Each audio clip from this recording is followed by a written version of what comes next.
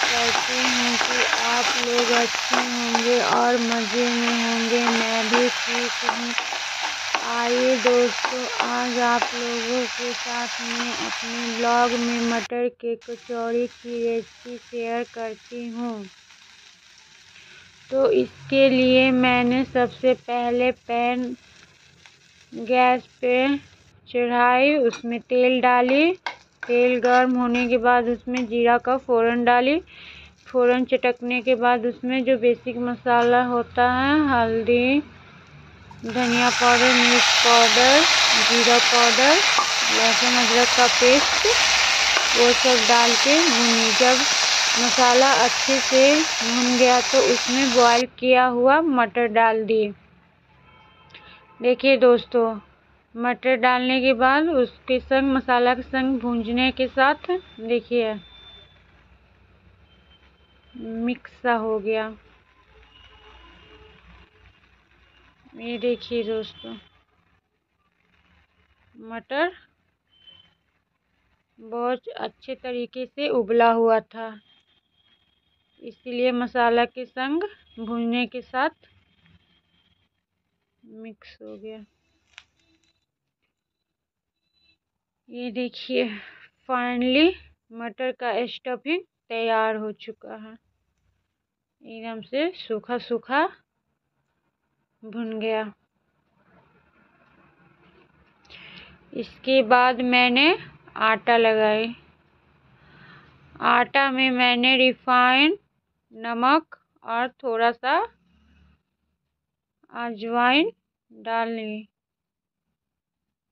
देखिए दोस्तों। मेरा आटा गूंदा गया। देखिए, मैंने मटर को हाथ से मिला के देखी एकदम बहुत अच्छे तरीक़ा से मिक्स हो चुका है मटर और मसाला। मटर का स्टफिंग तैयार हो गया। ये देखिए दोस्तों, मैंने पेन को गैस पे चढ़ा दी उसमें, रिफाइंड ऑयल डाल दी, गर्म होने के बाद उसमें कचौड़ी डाली।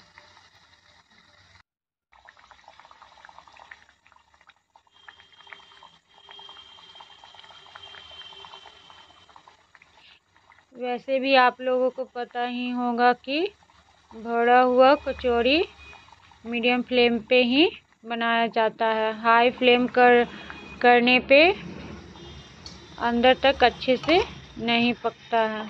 इसीलिए भरा हुआ कोई भी चीज़ होता है, उसको मीडियम फ्लेम पे ही बनाते हैं, जिससे अंदर तक बहुत अच्छे तरीक़ा से पक जाता है।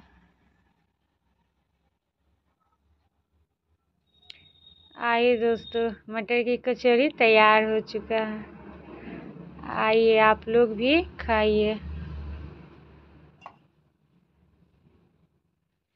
प्लीज़ दोस्तों, आप लोग कमेंट का जवाब, आप लोग वीडियो ब्लॉग देखने के बाद कमेंट किया कीजिए। आप लोग एक भी कमेंट नहीं करते हैं।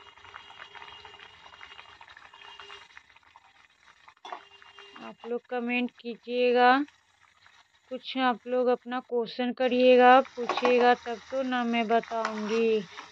या अपना नेक्स्ट ब्लॉग में दिखाऊँगी। आप लोग तो कुछ क्वेश्चन ही नहीं करते हैं।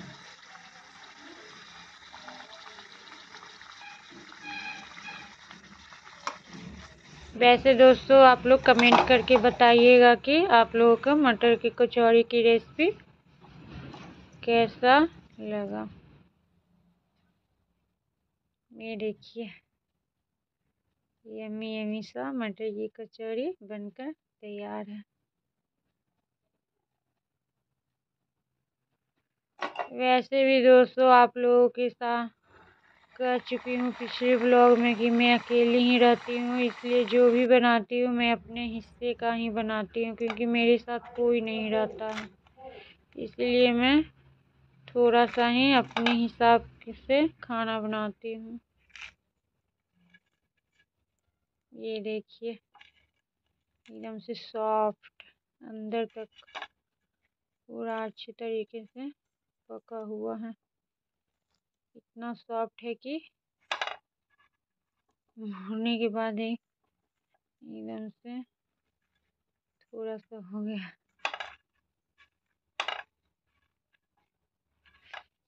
बहुत यम्मी कचौड़ी बना था दोस्तों। Thank you